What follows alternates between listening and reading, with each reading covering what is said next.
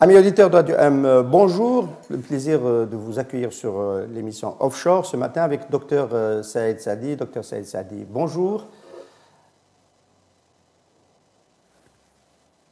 Marhaba sur Radio M.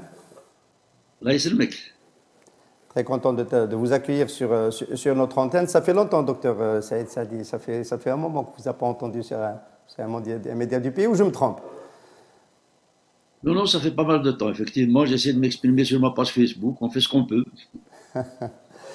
Alors, euh, on va essayer de prendre des nouvelles de vous. Vous êtes euh, un personnage euh, emblématique de la politique en, Algérie. vous avez surtout écrit, vous avez une grosse actualité d'écrivain ces, derniers temps. Vous avez édité.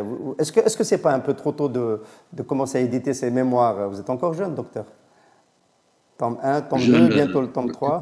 C'est très gentil à vous. Non, mais vous savez très bien que nous avons suffisamment souffert de l'amnésie euh, qui induit malheureusement euh, pas mal de problèmes mémoriels et ce qui se passe à retour de Bontobal actuellement en est un exemple malheureusement récent.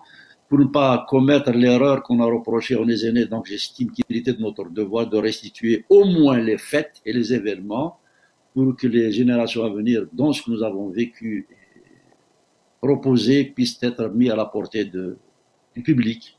Oui, on va peut-être voir les, les, les, couvertures des différents livres euh, qui ont été édités, même si ça ne se voit pas maintenant, on le verra en cours, en cours d'émission, chez, aux, éditions François Fanon de notre confrère euh, Amar Ingreshen. Euh, il va bientôt y avoir un tome 3 de, des mémoires? Oui, tome 3, 4, 5 d'ailleurs.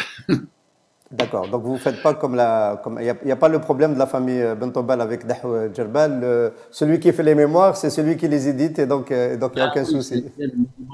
Puisse faire, c'est autant s'exprimer directement quand c'est des mémoires, euh, parle de soi et de ce qu'on a vécu. Oui, donc c'est un témoignage direct, sans intermédiaire.